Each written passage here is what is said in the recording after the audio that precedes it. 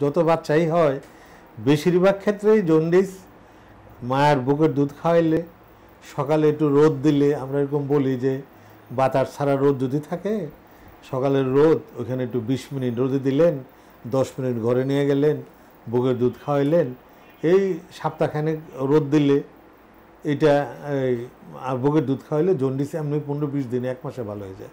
তো অনেক ক্ষেত্রে জন্ডিস আবার অনেক, জন্ডিসটা একটা বিপজ্জনক জিনিস। কারণ ধরেন এই যদি জন্মের থেকেই সে জন্ডিস নিয়ে আসে, এটা খুবই বিপজ্জনক।